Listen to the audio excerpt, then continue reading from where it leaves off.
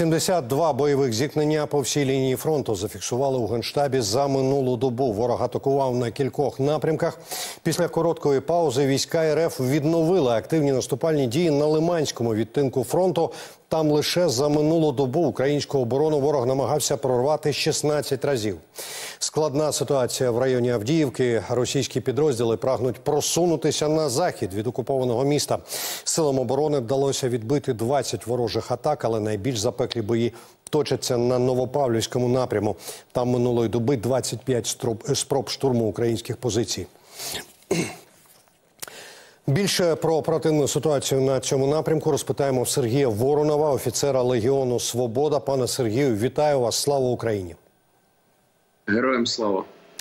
Отже, Новопавлівський напрямок залишається найгарячішим. Генштаб в ранковому зведенні повідомив, що за минулу добу ворог намагався штурмувати позиції 25 разів. Що відбувається зараз? Яка ситуація? Ну, власне, дійсно напрямок є дуже гарячим. Зокрема, після того як ворог е, фактично зруйнував Авдіївку, перекинув достатньо сил та резервів для того, щоб штурмувати мирні українські міста, зокрема на цьому напрямку. Е, безпосередньо сьогодні там однією з найгарячіших точок є е, село Первомайське, де ворог фактично без намагається штурмувати українські позиції. Ну, власне, подейкують і говорять про певне просування, але там іде боротьба за деякі е, пункти спостереження, які ворог уже кілька разів брав, і кілька разів ми їх е, звідти проганяли. Ну і фактично дуже гаряче е, це Георгівка, це напрямок на Курахово. Так само ворог намагається із півдня йти на Красногорівку. Ну і власне не полишають спроб захоплення Невельська, але їхні штурми фактично закінчуються нічим і фактично безперспективні в цьому напрямку наразі. Пане Сергію, напередодні у зверненні генштабу там була деталь така про ворожі авіаудари в районах Красногорівки, Костянтинівки та про мінометні артилерійські обстріли, під якими опинилися 10 населених пунктів. А наскільки щільний вогонь? Як добре взагалі забезпечена ворожа армія боєприпасами на тепер? Ну я можу сказати, що е, в певний час тому служив так само в артилерії. Можу, як е, в тому числі артилерист, сказати, що багато боєприпасів не буває ніколи. Е, власне, дійсно, паритету нам сьогодні не вдається досягнути. Е, намагаємося його тримати лише виключно точними і ефективними ударами, якраз по ворожим цілям. Ну але власне ворога дійсно є дуже багато міці для того, щоб е, поливати артилерійським вогнем українські міста. Е, Зокрема, дійсно е, дуже багатий шквал обстріл е, сіл, зокрема ті, які знаходяться поблизу зони бойових дій. Так само не бачимо проблем із іншими там е, з іншим озброєнням ворога. Я не можу сказати, що у наших е, артилерістів немає боєприпасів, тому що ми так само оперативно, наші, зокрема, і мінометчики, ось е, завдають удари у відповідь і проводять ефективну контрбатарейну е, батарейну стрільбу. А скажіть, будь ласка, ну окрім безумовно безперечного героїзму наших бійців, за рахунок чого вдається стримувати ворожі атаки? Е, Ну, як я вже сказав, це є ефективність. Е, Така не надто легка доля нас навчила стріляти влучно, е, стріляти і ефективно використовувати надані ресурси. Сьогодні використовуємо всі наявні там сили та засоби, як у нас в збройних силах говорять, для того, щоб боротися з ворогом. Дійсно, у них дуже багато як мобілізаційного ресурсу, так і там техніки, зокрема бронетехніки, але там використовуючи там більш сучасні технології, зокрема і FPV, е, ми чітко показуємо, як може горіти російські танки на славетній українському Донбасі. Е, Говорячи про сили і засоби, а що саме стягнув ворог е, туди на цей напрямок? І взагалі, хто, хто воює проти вас? Чи ви маєте таку інформацію? Ну, власне, з тих, е, з тих, які я бачив, е, ті, які мені відомо, це доволі такі мотивовані підрозділи: облот, п'ятнашка, е, другий батальйон там ДНР територіальної оборони. Доволі таки е, мотивовані. Е, підрозділи, які воюють інколи навіть з 2014 року. Ну і власне зустрічалися там і Штормзет, і інші кадрові російські військові підрозділи. Тобто така солянка доволі насичена із різних з різних там е, категорій військ.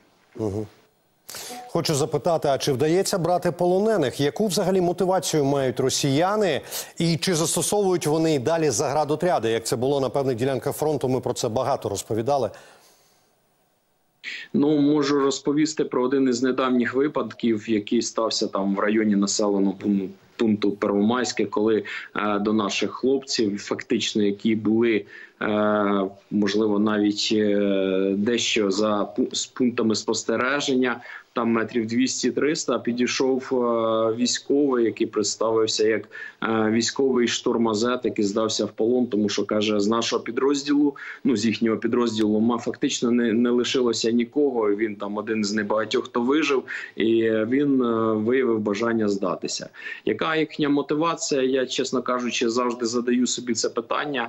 Інколи, коли думаєш, що вже втомився, що вже все набридло. Потім розумієш, що в житті могло пощастити не більше, е, і можна було б народитися російським і воювати взагалі ні за що. А ми, українські збройні сили, воюють за. Те, щоб е, сім'ї, наші родини, наша країна, яка стоїть за нашою спиною, е, жила, була і відбувалася. Ну, абсолютно точно ви передбачили моє наступне запитання. Я хотів запитати, що з мотивацією наших бійців, і ви ну максимально змалювали її. А лише запитаю. А, чи, чи страждає мотивація від того, що, ну, наприклад, досі не прийняли закон новий про мобілізацію? Про якісь, якісь тилові питання, які обговорюються тут, чи вони можуть е, похитнути ваш, ваш баланс, скажімо так? Ну я хочу сказати, що закон про мобілізацію потрібно приймати, потрібно поліпшувати мобілізацію, і цей закон має бути спрямований перш за все, на мою скромну думку, не на розширення категорій людей, яких можна мобілізовувати, а саме на підвищення мотиваційної складової, тому що мотивація вона грає дуже велику і серйозну роль, зокрема і тут на лінії фронту, адже мотивовані підрозділи вони найбільш боєздатні. Тому ми очікуємо так само на ухвалення закону про мобілізацію.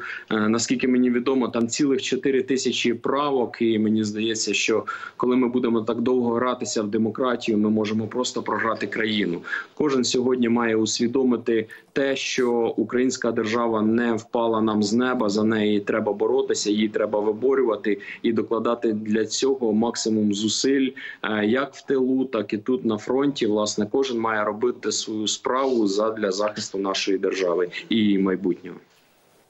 Ну а з хороших новин напередодні з'явилося повідомлення, що, начебто, правки вже завершили розглядати, але чекаємо на а, друге читання закону. А, скажіть, будь ласка, традиційно коротко, якщо можна, які потреби у наших підрозділів, у вашого зокрема, якщо є? Вони стандартні. Я думаю, що я би хотів звернутися для всіх до всіх телеглядачів. Тому що якщо ви бачите збори на там е, засоби пересування, зокрема пікапи, адже є велика необхідність усіх підрозділів, якраз в засобах пересування високопрохідної техніки. От підтримуйте їх, і так само сьогодні важливо підтримувати це дрони і РЕБ, які сьогодні відіграють одну із ключових е, ролей на лінії зіткнення. Пане Сергію, вам дуже дякую. По-перше, за вашу службу. По-друге, за той час, який ви нам змогли сьогодні приділити, і звісно, за цю розмову. Це Сергій Воронов, офіцер Легіону Свобода. Дякую вам. На все добре. Побачимося. Впевнений найближчим часом. На все добре.